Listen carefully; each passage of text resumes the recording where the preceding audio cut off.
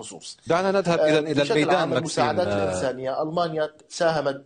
نعم مكسيم. دعنا نطرح هذا نعم. السؤال ربما على آه، مراسلنا من موسكو محمد حسن الذي انضم إلينا وأيضا انضم إلينا مجددا شوقي أمين من كيف لكن سؤالي لمحمد حسن في موسكو.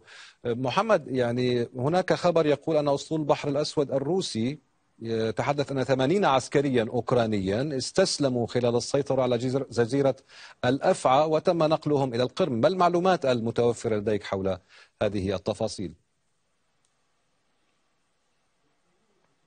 نعم. هذه المعلومة فعلا وردت من نشرة وزارة الدفاع بالإضافة إلى هذه المعلومة وردت معلومة بأن القوات الروسية تسيطر بالكامل على مدينة ميليتوبل. هذه المدينة موجودة في الأرض أو ال- ال- الجزء القاري من الدولة الأوكرانية شمال شبه جزيرة القرم.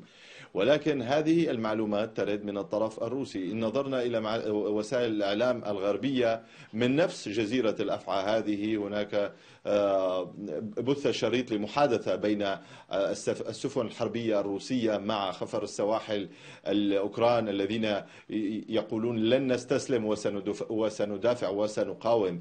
بالإضافة إلى ذلك الطرف الأوكراني يتحدث بأن الطرف الروسي لم يسيطر على أي مدينة في أوكرانيا وأن حتى الآن بالإضافة إلى هذا نشرة وزارة الدفاع الروسية تتحدث عن إسقاط طائرات آه، أوكرانية ومروحيات أوكرانية وتقول أنها لم تفقد أي طائرة. إذا إذا نظرنا إلى نشرة الدفاع الأوكرانية الصورة مغايرة تماما وتتحدث عن أعداد من المقاتلات الروسية أسقطت. حسب الكثير من المحللين آه، السياسيين والمراقبين يرون أن هذه النشرات والمعلومات المتضاربة هي امتداد لهذه الحرب الميدانية آه،